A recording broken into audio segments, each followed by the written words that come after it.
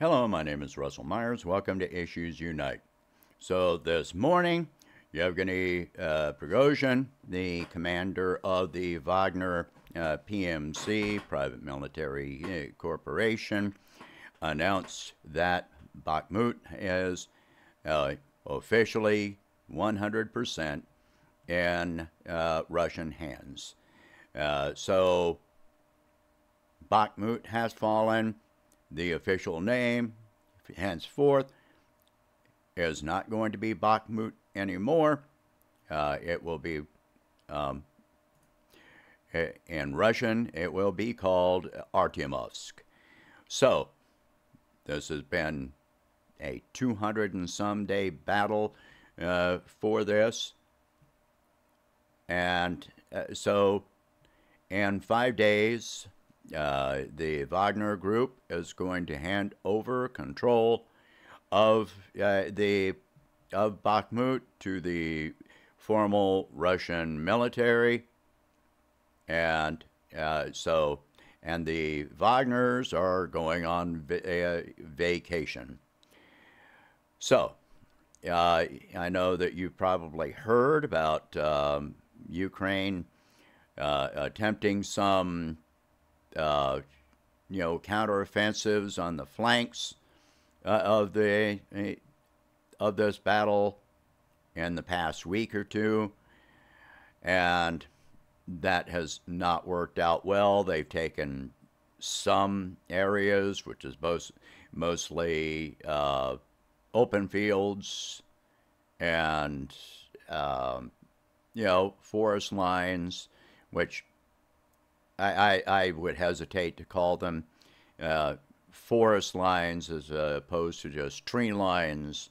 Uh, you know the size of parks, really, uh, like an inner city park. Uh, the Ukrainians have been uh, retreating into the open areas uh, between, you know, so yeah, they have uh, retreated into the um, open fields between Bakhmut and Chasiv Yar, uh, which has been labeled the Valley of Death. All of this was unnecessary. Uh, I, have said many times that this was unnecessary.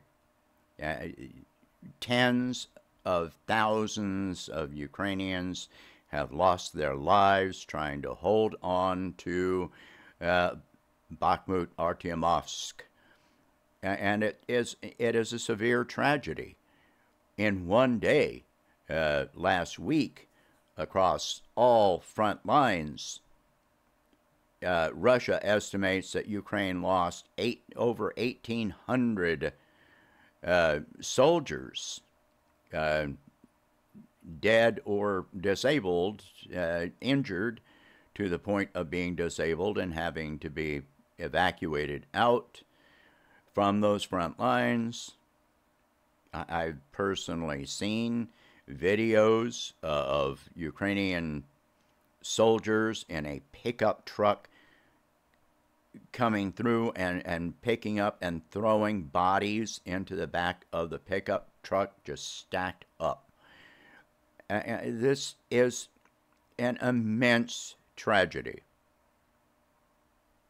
We can always hope that this will reach the final stage, but I, I, we know that that's not going to happen, that uh, we can hope that Ukraine will go to, come to the negotiating table, but as of this time, no, that's not going to happen.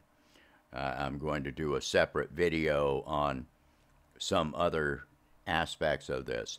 So, what happens from here is that what uh, Russian regular military has been involved in this, the artillery especially, and so forth, then now they are going to you know, reposition. They're going to redeploy to other areas along the front lines, uh, such as Seversk, uh, you know, and so and Kherson, where there is a buildup of Ukrainian troops.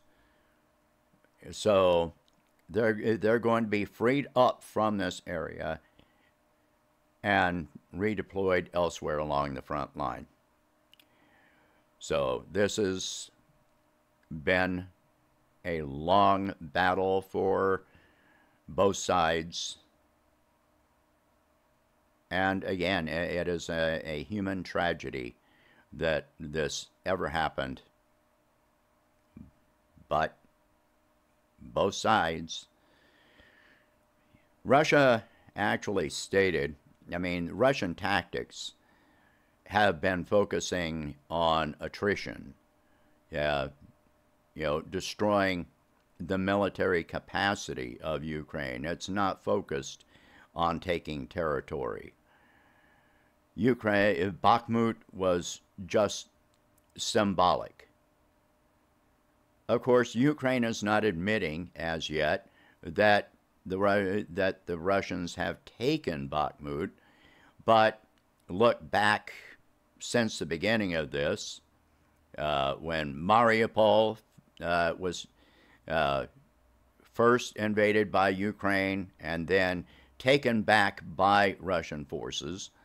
It, it took them several weeks to admit that this had happened. The same is true with Soledar, that it took them two to three weeks to admit that Soledar was no longer in Ukrainian control.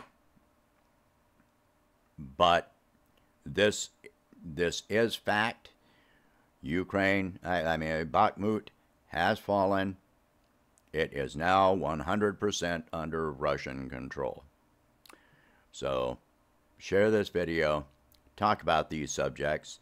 If you can afford it, please donate whatever you can to help expand this channel and my presidential campaign, and I will catch you in the next one. Thank you for watching. Hope you have a good day.